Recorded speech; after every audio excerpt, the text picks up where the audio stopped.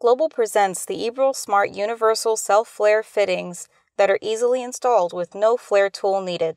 Before beginning the easy three step install, be sure your copper or aluminum tubing is properly aligned, cut, deburred, and cleaned.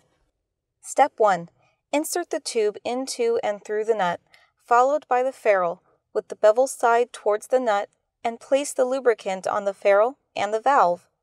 Step 2 Apply pressure to hold the tube against the valve while you hand tighten the nut, ensuring it's tight enough to prevent tube drift. And mark the alignment of the fitting and the valve.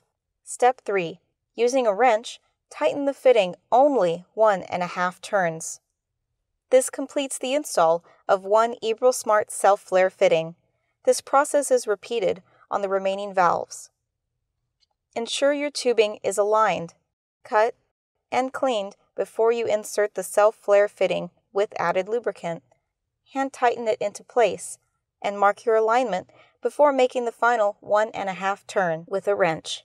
Once all the flare fittings are installed and the air handler and condenser are prepared, they can be pressurized to check for leaks.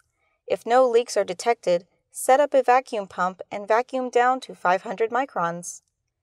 Thank you for choosing Ebrilsmart, and be sure to continue to trust the G for your HVAC part needs.